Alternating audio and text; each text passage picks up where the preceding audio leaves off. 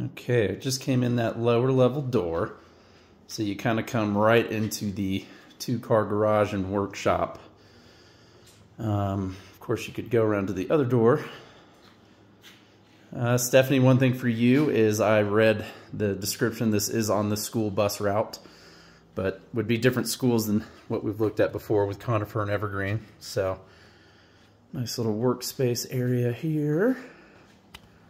Let's see what we got with some of these. Sorry for the glare. I'll clean my lens. Storage there. Great little coat closet.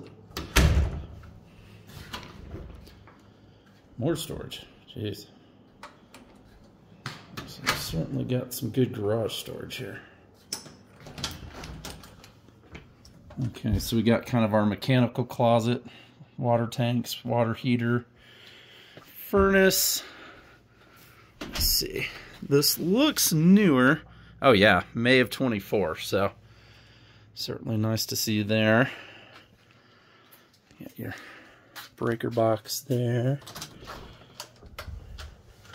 Get some videos going upstairs, but let's get the rest of this. Got one more door. It's probably just to the exterior, but let's see. Oh, wow. Little gym.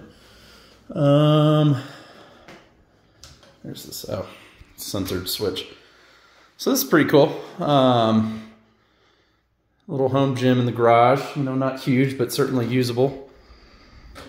So a lot going on just in the garage. So let's go on up.